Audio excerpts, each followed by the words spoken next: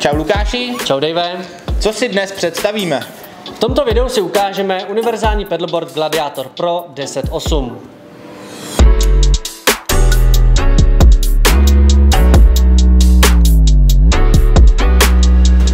10.8 má klasický kulatý univerzální tvar. Díky své délce 329 cm, šířce 86 cm a tloušťce 15 cm se tento pedalboard řadí mezi klasické univerzální XL plováky.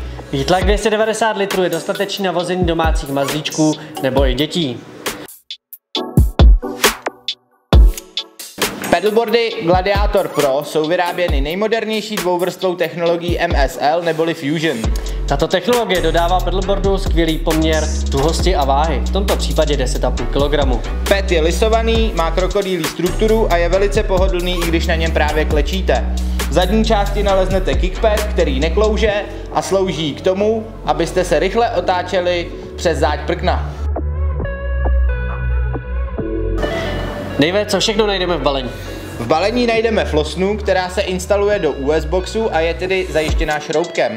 Dále dvoučinnou pumpu s přepínáním chodu, Líš, ten slouží k uchycení kolem kotníku, ultra lehké karbonové třídílné pádlo, které je velmi tuhé, dál opravnou sadu, a celé toto dáme do přepravního batohu, který je velmi dobře zpracovaný, má terénní kolečka a je z pevného materiálu. takže můžeme vyrazit k vodě. Jedem!